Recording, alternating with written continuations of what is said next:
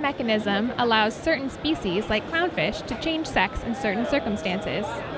Clownfish are known as sequential hermaphrodites. In a school of clownfish, there's only one female and the rest are male. When the female dies, the dominant male changes its sex and becomes female.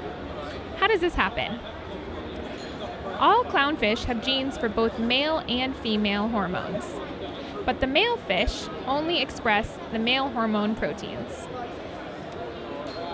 When the dominant female dies, the dominant male stops producing male hormones and starts producing female hormones.